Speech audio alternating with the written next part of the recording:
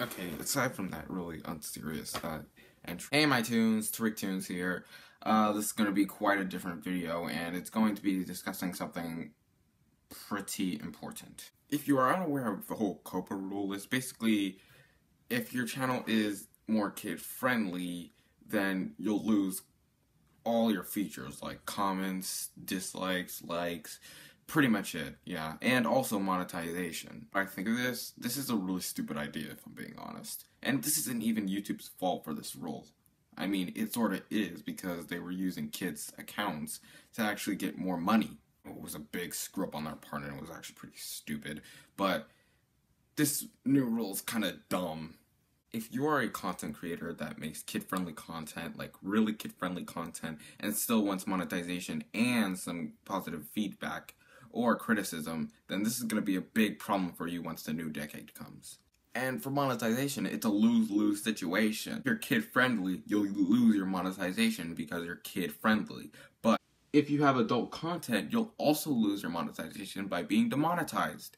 What kind of logic is that? Honestly, me, I could really not give a single crap about monetization because I don't really care about it if there was a case scenario in which I would actually have to use YouTube to actually have a job, then maybe. But I'm thinking of actually, you know, getting a real job, like in the real world. For people who use YouTube as a job, then this is going to be a, quite a big problem for them if their channel is kid friendly. For me, removing likes and dislikes and comments, like, I don't know, I could really care less about removing likes and dislikes, but comments, yeah, I'm not sure if I can go with that. Comments are there to give, give me more of an in-depth reason on why people liked or disliked the video so they can give me some constructive criticism. So without comments then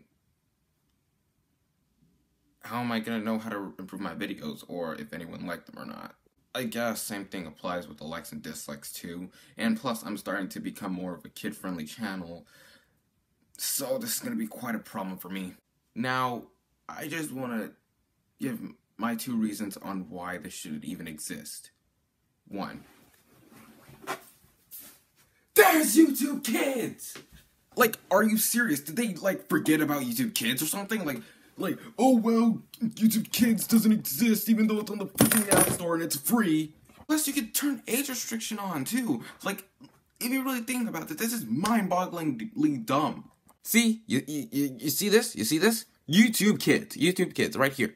Right here. But you know what? That doesn't exist anymore. This doesn't exist. What about what about uh, restriction mode? What about restricted mode, huh? You you know, whoop, doesn't exist either. Doesn't exist either. So this can actually kill YouTube. As over exaggerated as that sounds, it actually seems like that's going to happen. YouTubers are already leaving the site, and if it gets this bad, then I'm pretty sure bigger YouTubers could leave the site too. And also, bigger YouTubers means a lot more money for YouTube. So yeah, that's a problem for you. That's a problem for you. Which is why bigger YouTubers need to, you know, talk about this. Like for for instance, PewDiePie, one of the biggest, like the the juggernaut of YouTube. A lot of YouTube's bigger money makers need to talk about this because there are the channels that YouTube gives the most attention to. So someone at YouTube can actually, you know, talk about this. I know it really isn't their fault that this whole COPPA rule is being set into play, but yeah, it really is because they were the ones who used kids' accounts to make more money. But the FCC or whoever made this rule is is responsible because this rule is just dumb. I thought the commercially viable thing was bad, but of course that turned out to not really be real and kind of exaggerated. But this can actually be worse. This can actually be worse because YouTubers actually are leaving because of this. As over exaggerated as this statement sounds, this can actually kill YouTube. Like, really. YouTubers are already leaving. It's it's it's honestly just terrible. Well, this is quite different from my normal vids, but and plus, uh, Tariq, you have like I don't know, 319 subs. Who who would have listened to someone as a small YouTuber? Who what YouTube would not listen to a small YouTuber?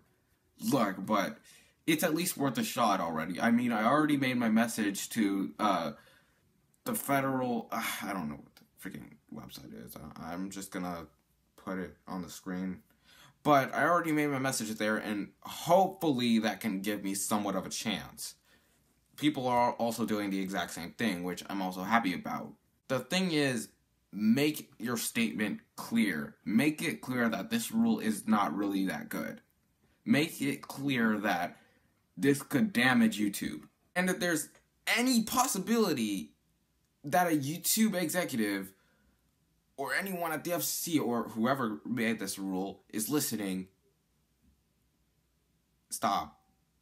That's all I gotta say. This rule is not really that good because there are two ways to avoid this YouTube Kids and restricted mode. Like, that's really the only thing I can think about. Like, seriously, if you really think about it, this rule is useless because we already have two things that can actually make YouTube safe for kids. Honestly, that's really all I gotta say about this video, man. You really didn't expect me to make more of a face cam video, and the quality might be pretty, uh, shit. But I gotta really make this message clear, man. Like, honestly, that's the least I can do, even though I am a small channel with like 300 subs. But that's all I can do right now. Anyways, until then, see ya, my.